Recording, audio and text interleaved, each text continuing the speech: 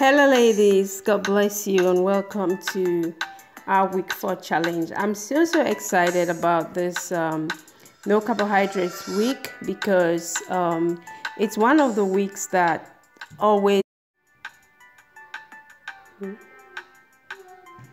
for me, but also for participants, and um, it's also one of the toughest weeks. But uh, if you know me, you know that I like tough things. are like things that challenge me, that push me to the core, especially when I know that the results are going to be amazing. So I'm really, really excited about um, our no carbs week going through the the whole week till Saturday. So uh, hope we're doing great. Uh, happy Easter once again, and um, may the joy of the resurrection uh, which sets us free from sin, which sets us free from coronavirus, which sets us free from all kinds of pain and sorrow. May it fill your hearts um, today and always. So, I just wanted to ask you have you ever gone a day without some form of processed carbs, something like bread, rice, cereals like, you know, muesli, oatmeal, pasta, biscuits, cake. Have you ever gone through a day without that, any of that? Um, if I ask you that question, you might think and say, mm, no, I, I can't remember. But I bet you, you must, you, it's, it, it's possible that you've gone through a day without eating any carbohydrates, any processed carbohydrates, but you just didn't notice. And why didn't you notice? Because you didn't plan to. Maybe it just happened. For example, are days you get up and you're just not hungry and you pick on little things, you pick here and there, or you eat just something and you know it happens. But because it's not planned, it's okay. But the moment it's planned, like now, when we say, okay, this week we are not eating carbohydrates, then it becomes a fight. It becomes a struggle. It becomes a talk of war. Why? Because it's always a mind game. Your body, we are, in our sinful nature, we are meant to to resist what is good. We are always meant to resist what is good for us. So anything that is good, our mind tries to, not even our mind, our inner, the Germans will call it inner shrine Schweinehund. So that inner devil in us will try to resist anything that is good for us, especially when you have a goal that you are following. So I don't know how you felt when you, you listened to the challenge yesterday. Maybe some of you were already thinking, oh my God, it has never happened. It has never happened because we all grew up with rice, bread, and everything. We all we, we, we all grew up like that, you know. So uh, so it is something very radical. It is something very drastic. It is something very strange and very new to us. Um, that is exactly how I felt at the start. The first time I did a no carb week, I thought I was going to die because I love pastry. I love bread. I love fish rolls and I love anything that has to do with bread. Cakes, not so much, but if you give me cake, I'm gonna eat it. I will not say no. But I love bread. I love pancakes. I love anything that has to do with flour. Give it to me. I'll eat it. I love rice. Yasmin, Yasmin uh, scented rice. I love it. You know, so it was really tough. It was really gonna be tough. Like, but the truth is that um, in the many years that I've been struggling with my weight, you know, going up and down, being pregnant and struggling to lose the baby fat and being pregnant again and just going up and down, I've been pushed to, to, to research more and more why sometimes why it's so difficult actually to lose weight why sometimes I struggle, I don't eat at all, I eat very little, I run away from fat, I don't even put a drop of fat in my food, but I'm still putting on weight. I tried to research on that until last year when I started hearing the talks about the keto diet. When I started hearing talks about it, and I was like, huh, what is this keto diet? And then I went in to do some research, talk with a friend who was doing it, and she told me a little more about it. So the main, uh, the, the main fall of the keto diet, we're not doing the keto diet, but I'm just trying to talk about the keto diet because the no carb diet comes from it.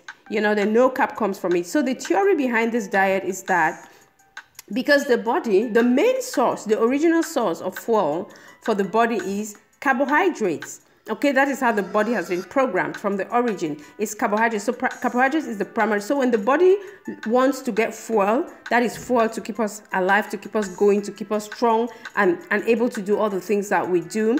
It first goes to look for um, carbohydrates where it has stored carbohydrates where that, that is the primary that's the go to the first um, the first goal the first choice is carbohydrates. So the body goes and gets carbohydrates and gives us the energy that we need. So we can we can we are strong. We are able to do the things that we do. So when you eat carbohydrates again the body will, will, will still use it. But the truth is that the amount of carbohydrates that we eat is way too much. It is way more than what we need. So the body is not able to consume to, to, to, to, to, to transform all the carbohydrates that we have eaten into energy. So what does it do? It stores some for the next time. And then we keep eating because we also eat too much. Three square meals, snacks, and all the like. The body keeps storing carbohydrates. The body keeps storing carbohydrates. And then what, what do you do? It never gets to use any of the fat that it has also been storing.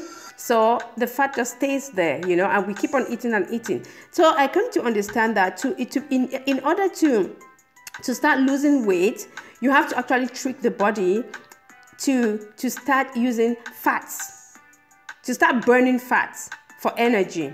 But then, because the body knows that so long as there are carbohydrates, the body is not going to burn fat. So you can only force the body to start burning fats, the process that is called ketosis, if I understand well, if there is no carbohydrates to grab if there is no carbohydrates to, to take, to, to, to, to transform to energy, so then the body is now forced to go to the second choice, which is then the fat, and then it starts burning fat, and that is how the weight starts melting. So that is the theory behind it. I hope it makes sense. The first time I heard it, it just blew me away. It made a lot of sense, of course.